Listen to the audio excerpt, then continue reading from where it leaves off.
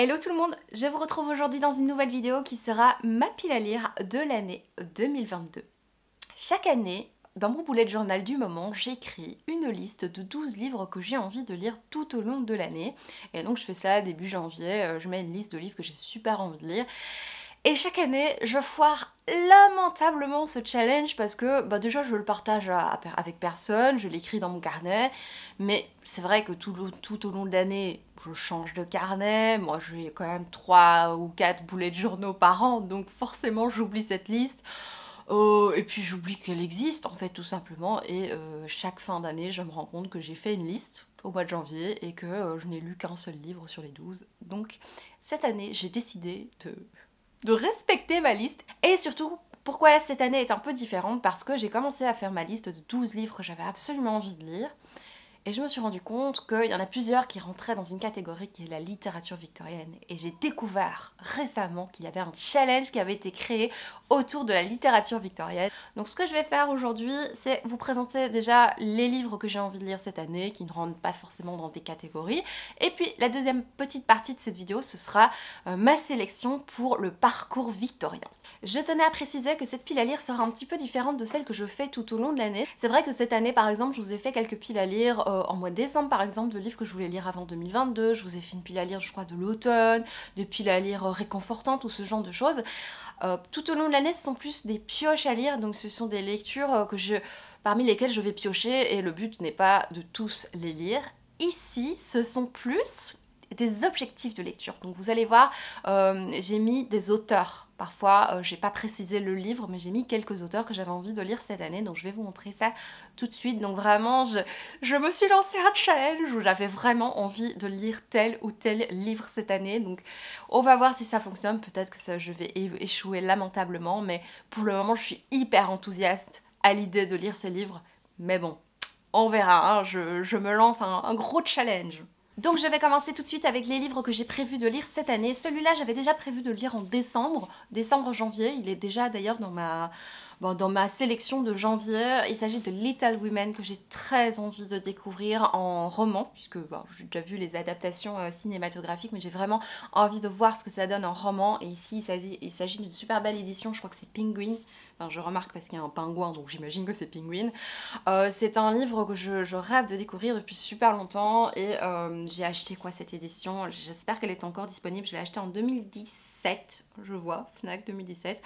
Voilà, je sais pas si elle est encore disponible. Il existe des éditions encore plus belles de ces Little Women de Louisa May Alcott. En tout cas, j'ai vraiment hâte de découvrir ce que ça donne. Ici, j'ai pris une version VO qui existe bien sûr traduite. C'est l'histoire de la famille March, hein, les quatre filles du docteur March euh, pour la traduction française. J'ai vraiment, vraiment hâte de découvrir. Mais bon, je vais dire ça pour chaque livre, hein, puisque c'est le principe de cette pile à lire.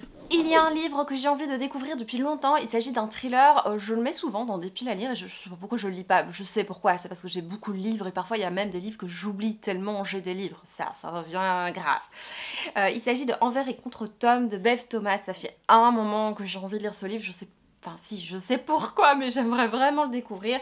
Il s'agit d'un roman publié chez J.C. Lattès. C'est un roman psychologique euh, dans lequel on va suivre l'histoire de Ruth qui est psychothérapeute. Une dame qui est hantée par un, drame personnel puisqu'elle a perdu son fils il y a un an et demi. Son fils Tom. Il a disparu, mais c'est pas très clair dans le résumé. Je ne sais pas s'il est décédé ou s'il a été enlevé ou il a disparu, euh, tout simplement, je ne sais pas. En tout cas, un jour, elle va avoir un nouveau patient, Dan, euh, qui ressemble quand même vachement à son fils. Et donc, je j'ai pas été plus loin dans le résumé parce que j'ai pas envie d'en savoir beaucoup plus. J'espère sincèrement que ça ne me spoil pas déjà.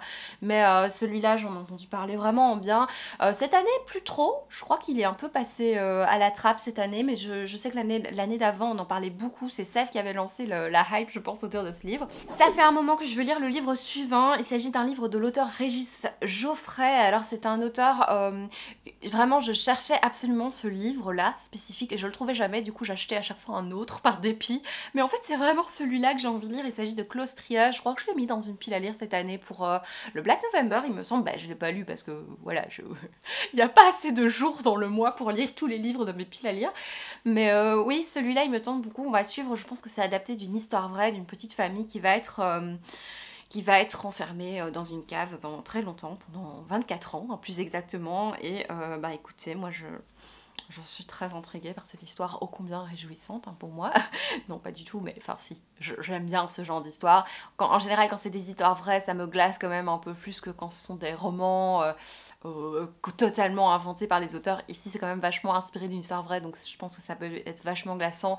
J'ai fait l'expérience cette année de lire euh, Une fille comme les autres, il me semble, c'est ça, qui m'a bien traumatisée cette année. je l'ai pas mis dans mes lectures favorites de l'année parce que bien c'était pas... il m'a marqué, mais pas forcément en bien. J'ai été trop dégoûtée par cette lecture. Bah, c'était bien fait, mais je veux dire, j'étais tellement dégoûtée par ce qui se passait, sachant que c'était inspiré d'une histoire vraie. J'espère juste que ça va pas me faire le, même effet et me retrouver à trembler comme ça dans mon fauteuil.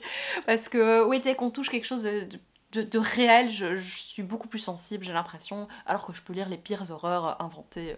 Voilà. Je continue à lire euh, la suite de la liste que j'ai mise dans le petit carnet de Sèvres. Vous avez vu comme je fais de la promo. Dès que Sèvres a présenté son carnet, je l'ai, euh, j'ai craqué, euh, je l'ai acheté et je, je l'abîme déjà. Hein. comme déjà dans la deuxième partie de cette pile à lire, il y aura pas mal de livres très spécifiques que j'ai envie de lire, je me suis dit que j'allais la faire facile et donc que j'allais me donner euh, des propositions de lecture pour cette année de d'auteurs que j'ai vraiment envie de lire. Alors le, le but n'est pas de lire un livre spécifique de cet auteur, mais de lire un livre tout simplement de cet auteur cette année. Le but toujours est de me faire plaisir dans les lectures, hein. de toute façon on ne lit pas pour souffrir, en tout cas aux dernières nouvelles. Le premier auteur que j'ai envie de lire cette année, euh, je ne sais même pas si j'ai lu un livre de cet auteur cette année, je crois que j'avais commencé Carrie puis j'ai laissé de côté, je ne sais pas, si je sais pourquoi, j'étais pas dedans. Euh, j'ai envie de lire un Stephen King, tout simplement. J'ai mis celui-là, mais je, enfin voilà, je, je vais pas forcément lire celui-là. Je ne sais pas lequel je vais lire cette année, mais je me suis mise comme objectif de me faire plaisir en lisant des auteurs que j'aime bien, et donc de lire euh, un Stephen King, peu importe lequel. J'ai envie de retrouver la plume de Stephen King. J'ai envie de retrouver ces histoires tellement différentes les unes des autres. Je je sais pas lequel encore, mais en tout cas, j'ai très envie de retrouver mon cher Stéphane. Cette année 2021, c'était l'année de ma rencontre avec Daphné du Maurier, mon gros coup de cœur pour ma cousine Rachel. Euh, m'a fait acheter quelques autres titres de l'autrice et euh, j'ai prévu cette année d'en lire un autre. Je n'ai pas de titre spécifique et si je vous montre l'auberge de la Jamaïque, je ne sais pas lequel je vais lire. Tout ce que je sais, c'est que je vais pas lire Rebecca parce que j'ai prévu de le lire en dernier, quand j'aurai lu tous ces autres. Donc euh, là, j'ai mis l'auberge de la Jamaïque, mais euh, mon but c'est vraiment de relire un Daphné du Maurier cette année, peu importe lequel, de continuer à découvrir cette autrice euh, qui m'a fait tant de bien cette année avec ma cousine Rachel. Une autrice doudou, une autrice réconfort pour moi, en tout cas à mes yeux, c'est Laura Kasichke. Et je me rends compte également que l'année passée, en 2021, je n'en ai pas lu un seul. J'avais prévu d'en relire et, en fait, je pense vraiment que j'en ai pas lu. Et donc j'ai vraiment envie d'en lire un. Celui-là, il me semble que je l'ai déjà lu en fait. Oh, mais bon, bref, un Laura Kazishke, peu importe lequel, j'en ai encore 5-6 qui m'attendent dans ma pile à lire. Et vraiment, j'ai vraiment envie de retrouver cette plume que j'ai le temps, cette plume un peu morbide par moment. J'aime beaucoup euh, ce qu'elle fait, euh, Laura Kazishke. C'est toujours euh, très envoûtant comme littérature. je me retrouve vraiment bien dans ses lectures. Donc ça, c'est pour la première partie de la sélection. Donc bien sûr, il y a plein d'autres livres que j'ai envie de lire, on est bien d'accord. Mais là, c'est vraiment des livres que je vais essayer de lire cette année à tout prix. voilà, franchement, c'est pas très compliqué. Hein. Euh, cette sélection que je viens de faire, c'est des choses que j'ai très envie de lire. Vous remarquerez que euh, dans la première partie, particulièrement de la vidéo, il y a certains genres qui ne sont pas représentés parce que vous savez que j'aime quand même beaucoup de genres euh, littéraires. Je lis quand même assez variés en général. Mais il y a des genres que j'ai pas envie de mettre dans cette pile à lire parce que, comme je vous l'ai dit, c'est une pile à lire que je vais essayer de respecter pour le coup. Donc, par exemple, la fantasy, je n'ai pas mis je n'ai pas mis de livre parce que j'aime vraiment y aller au feeling. Pour la fantasy, j'ai vraiment besoin de, prendre un livre au feeling. Euh, voilà. Donc je ne sais pas encore quel livre je vais lire cette année. Peut-être un Brandon Sanderson, mais j'ai pas envie de me forcer à lire cet auteur, c'est pour ça que je l'ai pas mis dedans. Euh, donc euh, voilà, j'ai pas mis de fantasy, j'ai pas mis forcément de fantastique, j'ai pas mis de poésie, j'ai pas mis euh, d'historique, il y a pas mal de genres que je n'ai pas mis. Et on va se passer maintenant au parcours victorien. Je remercie encore mille fois la personne qui a inventé ce challenge. Donc je pense qu'elle s'inspire du Victober pour faire quelque chose. Je n'ai pas vraiment suivi la création du challenge, mais en tout cas quand j'ai découvert ce challenge, je me suis dit waouh, moi qui ai prévu de lire de la littérature victorienne, il y a déjà quatre titres que je rêvais de lire cette année. Et donc c'est parti pour le parcours victorien.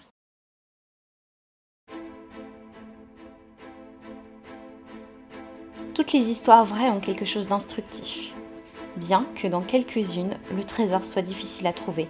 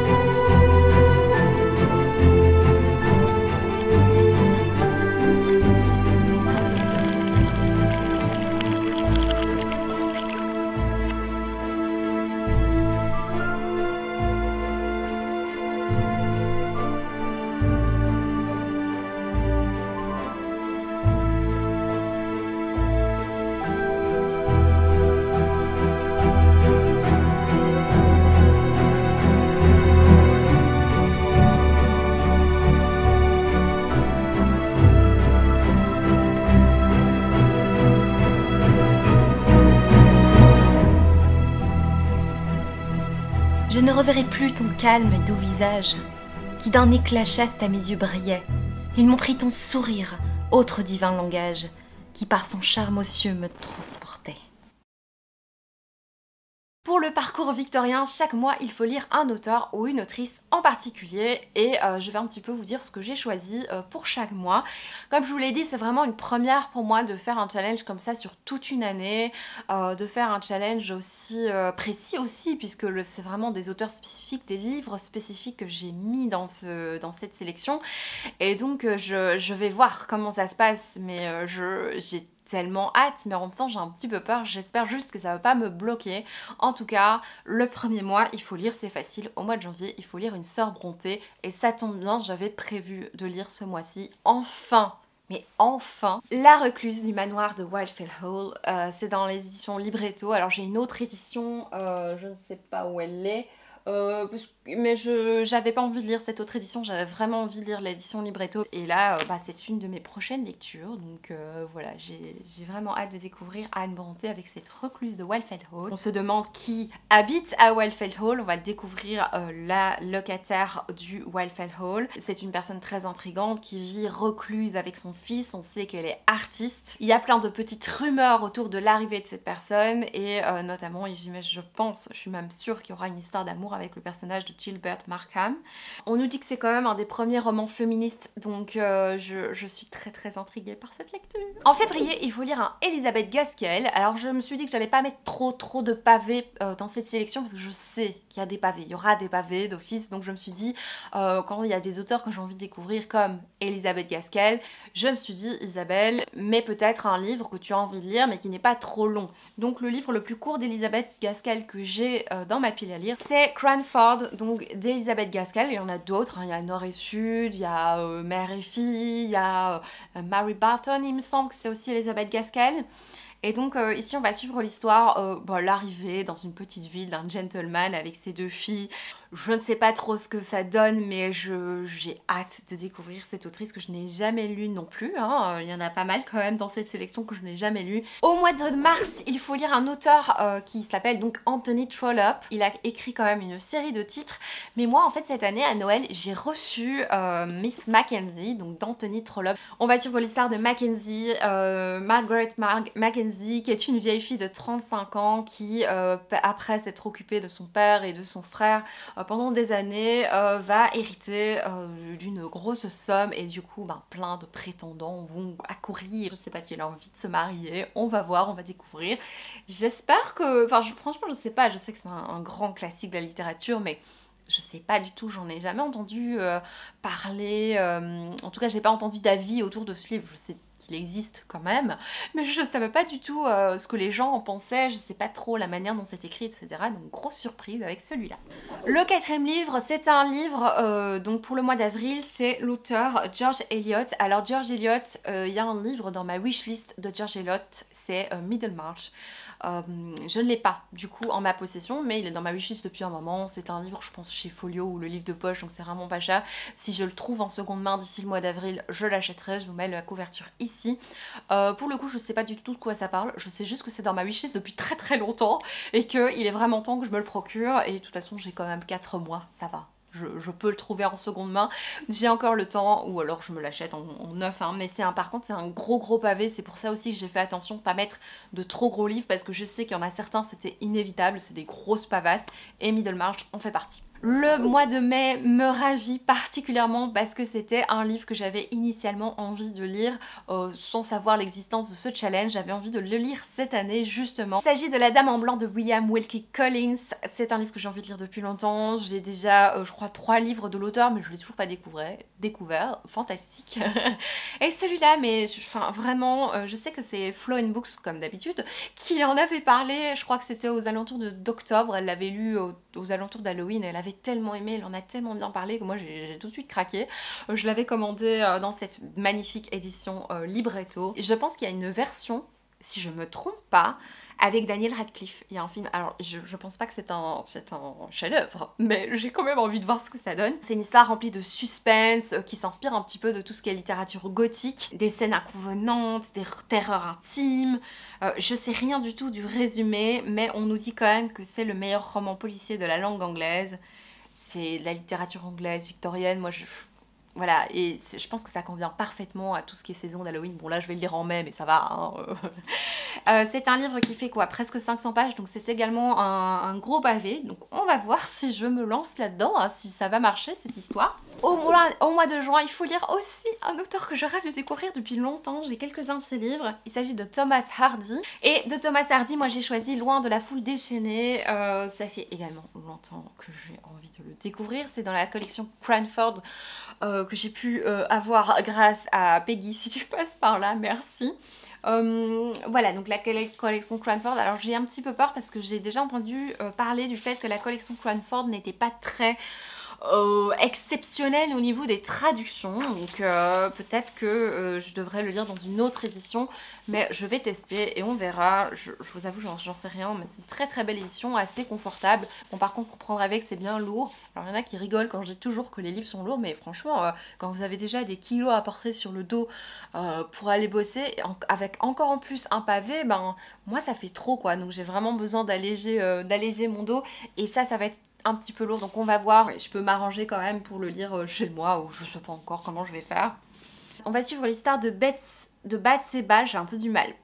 c'est pas Batseba, c'est Batseba Avdin qui hérite euh, d'un domaine à l'âge de 20 ans et donc euh, elle s'occupe toute seule de ce domaine mais un jour il va y avoir un incendie et euh, un ancien amour, Gabriel Hawke, va apporter son aide pour sauver toutes ses récoltes et donc elle va l'engager, pour le remercier elle va l'engager dans, son, dans son domaine et elle va devenir bah, l'élu de deux prétendants et donc je pense qu'elle va avoir genre trois prétendants dans cette histoire je sais pas trop ce que ça va donner.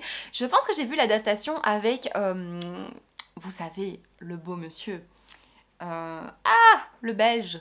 Enfin, Mathias Kounars, voilà, j'avais vu l'adaptation avec Mathias Kounars. À nouveau, il ne dit pas grand chose. c'est marrant. Est-ce que c'est un film où il parle? Je ne sais pas, mais en tout cas, je, me souviens que j'avais vu cette adaptation et je m'étais dit, il est charmant ce petit monsieur là. Euh, j'aimerais bien la revoir, mais je préfère d'abord lire le livre de base parce que ça fait longtemps que j'ai vu cette adaptation et du coup euh, j'ai un peu oublié donc j'aimerais d'abord lire le livre et puis redécouvrir l'adaptation. Au mois de juillet, il faut lire un livre au choix, un auteur au choix et là donc on nous laisse un petit peu le champ libre. Euh, il y a vraiment le choix mais je sais pas encore ce que je vais faire. Soit ce sera un mois de Joker où je mettrai pas euh, de livres de l'époque victorienne, soit je lirai peut-être un auteur gothique, parce que j'ai envie de découvrir euh, Anne Radcliffe ou des auteurs euh, bah, un peu plus anciens du coup, et pas forcément anglais, mais j'ai envie de lire peut-être de la littérature gothique. On ne sait pas. Ou peut-être que c'est le mois que je, choisirai pour lire Edith Wharton parce que dans la première partie de la sélection, j'ai oublié de mettre Edith Wharton. J'avais prévu de vous présenter le fait que je voulais lire un Edith Wharton. Alors c'est fait, hein, j'ai lu Lettres d'Edith Wharton, mais c'est un tout petit machin de 100 pages, j'ai envie de lire autre chose d'elle. Et donc je me dis que peut-être que je peux mettre ça au mois de juillet. Alors je triche parce que c'est pas une autrice euh, victorienne anglaise, c'était une, autrice américaine. D'ailleurs j'ai toujours cru qu'elle était anglaise, mais pas du tout. Et donc peut-être que ce mois-là, euh, au lieu de lire un auteur victorien, je lirai Edith Wharton, euh, avec par exemple Le temps de l'innocence, ou je lirai un roman gothique du type Anne Radcliffe ou un ou une autre autrice. Le mois d'août me réjouit également particulièrement parce que c'est un livre que j'ai envie de lire, mais envie de lire depuis si longtemps, enfin si longtemps depuis que je le connais, et euh, j'avais prévu de le lire en janvier, mais bon je ne sais pas tout lire en janvier, surtout qu'on est le 13 ou 14 janvier, donc au bout d'un moment je dois me calmer. Euh, c'est euh, Mary Braddon, je crois même que c'est Mary Elizabeth Braddon, et donc j'avais acheté cette année Le secret de Lady Audley j'ai envie de lire ce livre, mais tellement envie. Ici, c'est publié chez Archipoche. On est, euh, on va suivre l'histoire. Ah oui, je vous avais déjà fait ce résumé. C'est assez compliqué de résumer un résumé qui est, qui est pas très clair. on va suivre l'histoire d'un homme qui est parti, euh, qui est parti en, Australie pendant trois ans et quand il va revenir, il va se rendre compte que sa femme a disparu. Euh, elle est même décédée en fait hein, pendant son absence. Je ne sais pas trop ce que ça va donner. J'espère sincèrement qu'on nous spoil pas en nous disant que cette bonne femme est morte. Euh, et, qu'en fait, euh, ben, le secret de Lady Audley, c'est peut-être qu'elle est encore en vie. Je ne sais pas, j'espère qu'on ne nous a pas spoilé. Je ne vais pas lire la suite du résumé de toute façon. Mais euh, oh, j'ai tellement envie de le lire. Il paraît que c'est tellement bien. Et je crois que Flo l'a lu cette année et c'est suite à son avis en fait. Je ne crois pas, j'en suis sûre que je, l'ai acheté. Je suis faible hein, quand même. Hein. Mais vous savez pourquoi je craque aussi souvent pour les avis, euh, pour ce que propose Flo? C'est parce que c'est arrivé plusieurs fois qu'on ait les mêmes coups de cœur en fait. Donc euh, on est peut-être sensible au même genre de choses. Des Diables et des Saints, c'est grâce à elle que je l'ai lu. Hein. Faut rendre à César ce qui est à César. C'est Flo qui l'a lu d'abord. Ensuite, au mois de septembre, il faut lire Oscar Wilde. Alors, euh, j'ai hésité. Franchement, je me suis dit, mais qu'est-ce que je vais lire? Et j'ai envie de lire un livre qui rentre déjà un petit peu dans l'ambiance d'Halloween, qui est euh, Le fantôme de Canterville. Alors, j'ai pas lu le résumé du fantôme de Canterville, mais je pense que ça conviendra parfaitement. Je n'ai pas ce livre, mais j'ai quand même le temps. J'ai 10 mois pour l'acheter. Peut-être que je le lirai en VO parce qu'il me semble qu'il pas très très long. Euh, je vais voir ce que ça donne, mais euh, je pense que ça conviendra parfaitement pour euh, tout ce qui est Halloween, etc. Au mois d'octobre, il faut lire un récit fantastique, donc le thème est plutôt large. et moi, j'ai décidé de mettre un livre qui était également dans mes envies de lecture. C'est un livre inspiré de littérature gothique également. C'est un livre plutôt fantastique. Il s'agit de Dr. Jekyll et Mr. Hyde, que j'ai envie de lire depuis très longtemps, de Robert Louis Stevenson. Et moi, j'ai toujours cru que c'était un auteur français. Et en fait, bah non. Parce que bon, Robert Louis Stevenson. Non, je rigole. enfin, je sais pas, Robert Louis, c'est quand même. Euh, enfin, je sais pas, je pensais que c'était un français. Mais non. Donc euh, en fait, c'est, euh, je connais pas bien l'histoire de Dr. Jekyll et Mr. Hyde, inspiré par un cauchemar et rédigé en trois jours par un homme malade et fiévreux. Ça, je qu'il était un peu, euh, voilà. Quand il l'a écrit, c'est un voyage dans l'inconscient et, méditation sur le double. C'est un texte emblématique du 19e siècle.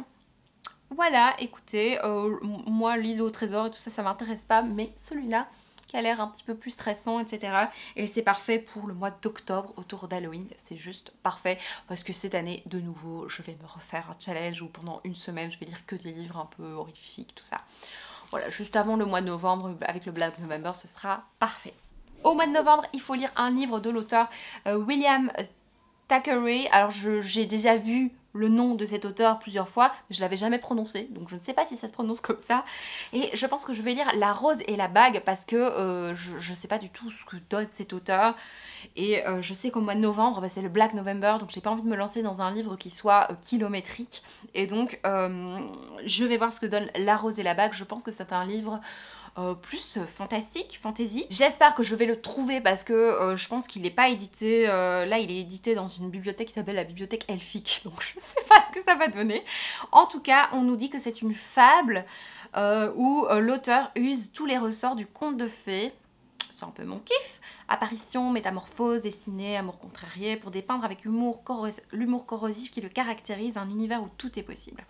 Voilà, on nous dit que c'est quand même de la fantaisie, un classique de la fantaisie, et euh, bah écoutez, moi ça me tente beaucoup, c'est très très court, et comme je vous l'ai dit, c'est au mois de novembre, donc il y aura le Black November, ça me fera une petite pause euh, fantaisie euh, au sein de pas mal de livres sombres. Et au mois de décembre, il faut lire un Charles Dickens, je pense que c'est pour que tout le monde lise les contes de Noël. Christmas Carol. Et moi, j'ai prévu de lire David Copperfield. Ah, j'aurais pu en lire plein d'autres, mais je pense vraiment que je vais lire David Copperfield parce que c'est une histoire euh, qui me tient quand même à cœur, que j'ai découverte quand j'étais vraiment plus jeune. J'avais vu le film euh, et ah, ouh là tout ce qui est David Copperfield, sans famille, ces, toutes ces histoires avec des petits orphelins euh, malheureux, et ben moi je veux la voir. En plus, il y a Daniel Radcliffe enfant, et je pense qu'il y a Maggie, Maggie Smith qui joue dedans. Et c'est marrant parce que c'est la première rencontre avec Maggie Smith et entre Maggie Smith et Daniel Radcliffe. C'est trop mignon parce que Daniel Radcliffe il est tout petit, il est tout chou. Voilà, euh, pour le mois de décembre, et eh bien c'est tout. N'hésitez pas à me dire si vous aussi vous participez à ce challenge, j'y arriverai. Euh, en tout cas, merci beaucoup à Anne ou Anna, je ne sais plus son prénom, euh, d'avoir organisé ce challenge que je trouve vraiment génial. merci beaucoup et merci d'avoir regardé cette vidéo jusqu'au bout. Je vous fais de gros bisous et je vous dis à bientôt. Ciao